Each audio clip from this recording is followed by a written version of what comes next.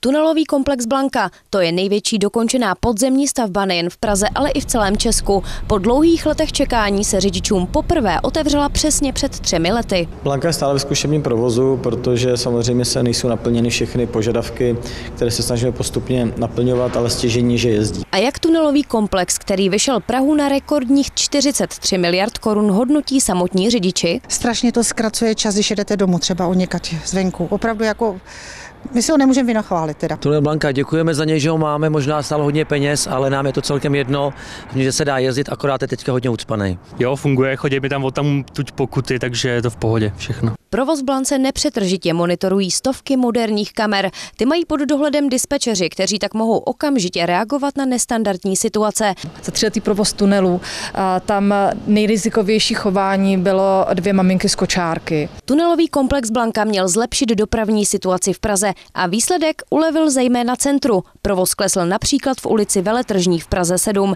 Naopak v Praze 6 otevření Blanky dopravní situaci zkomplikovalo. Vzhledem k tomu, že zprovoznění tunelového komplexu Blanka mělo předcházet dokončení Pražského okruhu, na což byla i navázaná kolaudace, proto stále Blanka běží ve zkušebním provozu, tak to přineslo i komplikace, neboť auta vlastně nemají kudy odjíždět a vzhledem k tomu, jak se potom dělají kolony třeba dole v Holešovicích, tak se musí regulovat vjezd do tunelu právě třeba z Břevnova, kde jsou dlouhé kolony až mnohdy až na Vypich. Kromě Pražského okruhu navíc stále není dokončený ani ten městský, který má v budoucnu navázat na tunel Blanka v úseku mezi Pelc Tyrolkou a Štěrboholy. Ten sirotek, jak jsem označil Blanku, už teďka má vlastně projektanty, kteří dělají zárodek toho bratříčka, sestřičky, to Vlasta. Tunelový komplex Vlasta má pokračovat soustavou několika tunelů až do Štěrbohol. Praha za projekt na jeho dostavbu zaplatí zhruba 307 milionů korun.